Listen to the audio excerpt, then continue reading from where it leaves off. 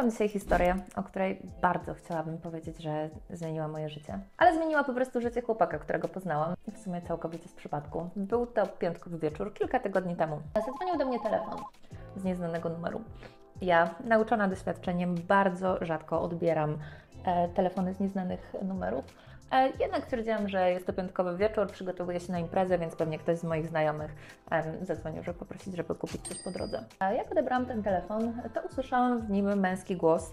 E, tylko, że w ogóle go nie kojarzyłam. Nie byłam w stanie połączyć go z żadną osobą, którą znam. Dlatego, że na samym początku myślałam o tym, żeby się rozłączyć. Chłopak w słuchawce powiedział, że ma dla mnie propozycję. Co z jednej strony mnie zaciekawiło, ale z drugiej to był kolejny moment, w którym chciałam po prostu odrzucić to połączenie.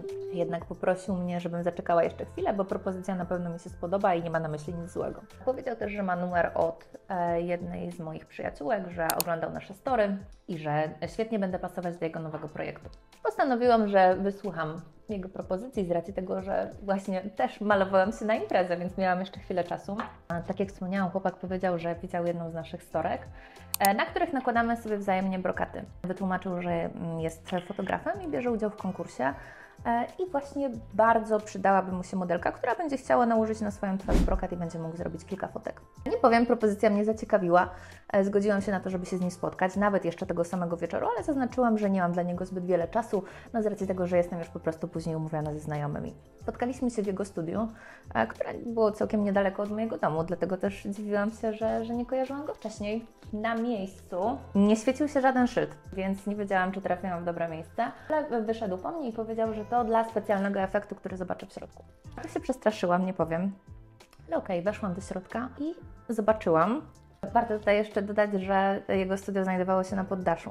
E, Zobaczyłam, że praktycznie cały sufit jest przeszklony i pięknie widać z niego gwiazdy. Powiedział mi, żebym zamknęła na chwilę oczy i kiedy otworzyłam oczy, poczułam się jakbym była w niebie, otoczona gwiazdami.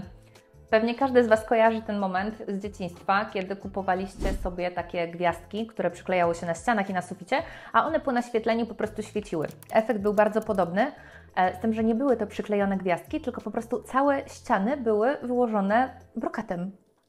Byłam naprawdę w szoku. Pierwszy raz widziałam coś takiego.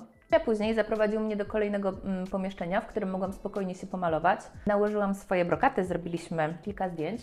E, nie chciał na samym początku mi ich pokazać, powiedział, że to będzie niespodzianka, a ja zaciekawiona mm, zaczekałam u niego, aż zdąży je obrobić. Wypytałam też, jaka właściwie ma być nagroda w tym konkursie, gdzie to będzie wysyłane, kto to zobaczy. Okazało się, że główną nagrodą w tym konkursie jest e, wycieczka do Włoch. A co najciekawsze, powiedział mi, że bardzo długo szukał modelki, która będzie idealnie pasowała do jego zdjęć. E, I dokładnie tego samego dnia, kiedy się spotkaliśmy, jest ostatni dzień, w którym można zgłaszać prace konkursowe. E, Byłam więc bardzo ciekawa efektu. Obrobił te zdjęcia, wysłaliśmy je e, i poczekaliśmy wspólnie do północy, aż e, okaże się, jakie są wyniki tego konkursu. Sprawdzaliśmy też, ile osób się do niego zgłosiło. I prac były naprawdę tysiące, z racji tego, że nie był to konkurs tylko na Polskę, ale tak naprawdę z tego, co się później dowiedziałam, na całą Europę. Jakie było moje zdziwienie, jak chwilę po godzinie 12 okazało się, że zajęliśmy pierwsze miejsce w tym konkursie. Czyli tak, wygrałam z obcym facetem wycieczkę do Włoch. I jeszcze większe zdziwienie przyszło w momencie, kiedy powiedział, że on wcale tak naprawdę nie chce jechać na tą wycieczkę i że oddaje mi. Że jemu zależało tylko i wyłącznie na tym, żeby wygrać ten konkurs i żeby poznało go więcej osób, żeby miał więcej zleceń, więc mogę zabrać tam ze sobą koleżankę. Powiedzcie mi, co Wy zrobiłybyście na moim miejscu? Czy w ogóle odebrałybyście ten telefon, czy spotkałybyście się z tak naprawdę obcym chłopakiem na zdjęcia? Swoje odpowiedzi zostawcie w komentarzach. Czekamy też na Wasze polubienia i łapki w górę.